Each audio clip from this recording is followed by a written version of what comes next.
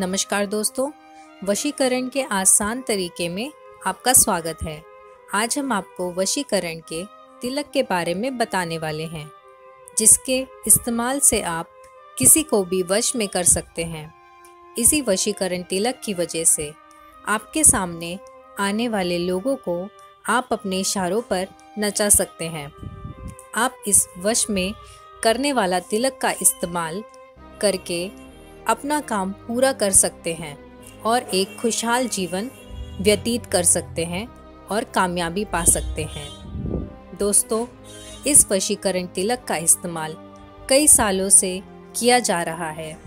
इसका इस्तेमाल कई जगहों पर होता है, जैसे कि जॉब, नौकरी, ऑफ़िस और बिज़नेस में, और अपना मनचाहा प्यार पाने के लिए।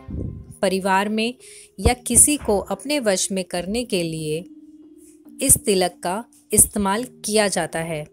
इस तिलक को सम्मोहन तिलक भी कहते हैं। सम्मोहन तिलक के इस्तेमाल से आप अगर आपका प्यार आपसे रूट गया है, आपसे दूर हो गया है तो आप इसको लगाकर अपने प्यार के सामने जाकर उसे वश में कर सकते हैं।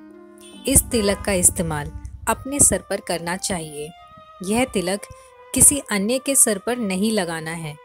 इसलिए आपको वश में करने में तकलीफ़ भी नहीं होगी और किसी को पता भी नहीं चलेगा। वशीकरण के तरीके में आपको किसी का बुरा नहीं करना चाहिए, क्योंकि वशीकरण का गलत इस्तेमाल आप पर ही भारी पड़ सकता है। वशीकरण तिलक कैसे बनाएँ? तो जानते हैं, वशीकरण के तिलक के बारे में। आप इस वशीकरण तिलक को घर में ही बना सकते हैं। इसके लिए हम आपको कुछ तरीके बताएँगे जिसके इस्तेमाल से आप वशीकरण तिलक बना सकते हैं। तो जानते हैं कैसे बनाते हैं वशीकरण तिलक और वशीकरण का इस्तेमाल कैसे करते हैं।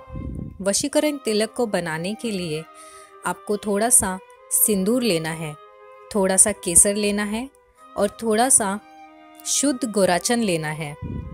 इन सबको अच्छे से मिलाकर एक चांदी के डब्बे में रखना है। छोटी सी डब्बी भी ले सकते हैं। इस तिलक का प्रयोग रोज़ सुबह करना है। यह बात ध्यान में रखनी चाहिए कि तिलक हमेशा माथे के मध्य ललाट में लगाना चाहिए। तिलक लगाते समय इस मंत्र का उच्चारण आपको करना है।